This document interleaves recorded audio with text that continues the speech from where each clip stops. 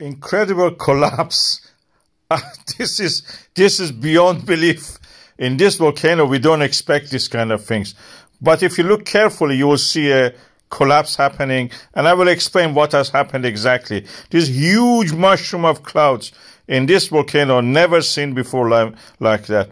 You may see it in the stratovolcanoes, not in this one, Mount St. Helen, not this one in Iceland. They're totally different uh, volcanic uh, eruptions, uh, volcanic uh, magma lava. This is what is happening. There is a glowing red patch on the north wall, and that collapses. That's what you can see here. I will play the video quickly for you, that part, that the collapse is happening.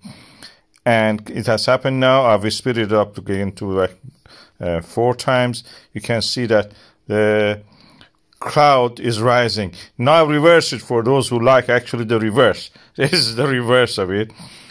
But there is another trick under my sleeve. I will put it back again now out to, into the into the air. Okay, this is what what you wanted. You get it. That is beautiful, and I think this will mean that the delay of volcanic eruption inside the volcano we had a big collapse. It has probably blocked the way.